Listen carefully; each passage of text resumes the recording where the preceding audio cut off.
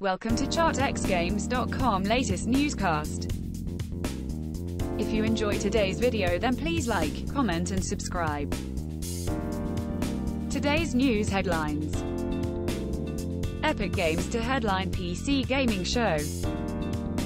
Netflix gate crashes E3. Red Dead Online out of beta with great updates.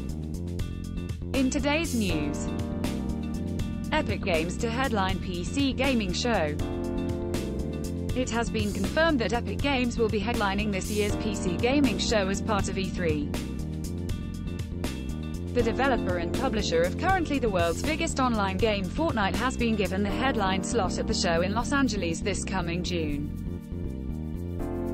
Not much is known about what Epic Games will be demonstrating or revealing, however I suspect Fortnite news and the next generation of the Unreal Engine may be on the agenda.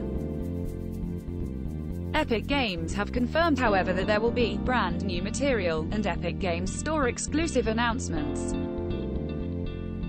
Epic Games Store announcements will be coming of course as the war between other online games platforms Steam and the Epic Games Store heats up. In recent months, Epic Games Store appears to have been poaching titles from Steam as a bitter rivalry between the two platforms gets worse.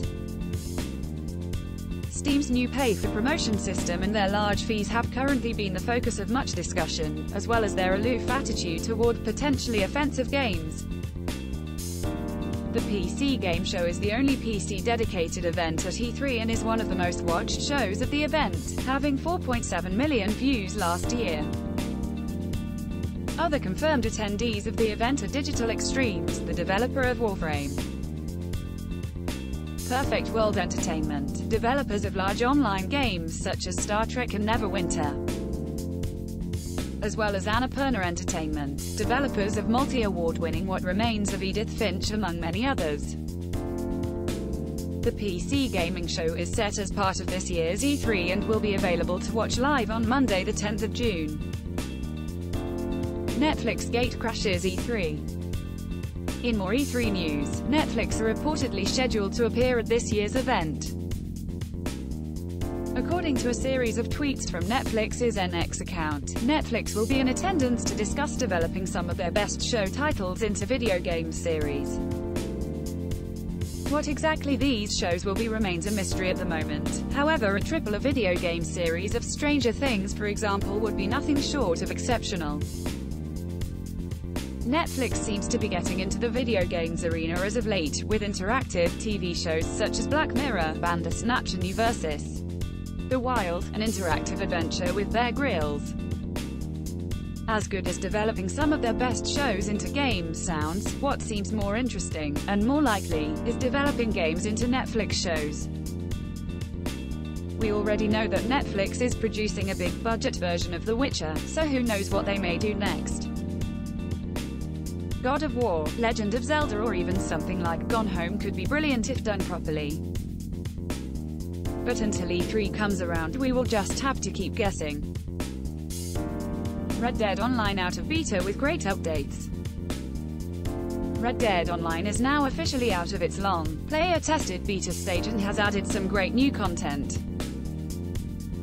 Since launch in late November last year, Red Dead Online has been in a state of beta, being play-tested by millions the world over while Rockstar Games irons out the bugs and develops the framework. Six months later, the online version of Red Dead Redemption 2 appears to be fully released with the features and content expected of a full version. However, Red Dead Online hasn't been without its faults. Upon launch, the game was plagued by connection issues, an unbalanced economy, unfinished items and clothing, a sparsely populated world, a whole tirade of griefing and the annoying horse bonding bug. Thankfully, the game is now in a state of completion and most of the issues have been resolved while all of the features have been properly implemented and or improved. As of yesterday's latest patch, the game has added a ton of new features, many of which have been requested by fans since day one. The world just got a little bit bigger. New free roam missions have been added into the game, very similar to the main story mode of Red Dead Redemption 2. You can now do some work for Captain Thomas Skip in the bayou or get down and dirty at the infamous Aberdeen pig farm. The game now also has random dynamic events such as helping people in need or taking advantage of opportunities. These free roam missions and dynamic events were what the game was missing from the start, and at least now there are new things to do for solo players apart from hunting and fishing. On the multiplayer side of things, new events and challenges have been added. New co-op missions have been added for A Land of Opportunities storyline as you get to help Jessica LeClerk learn the truth about her husband's murder.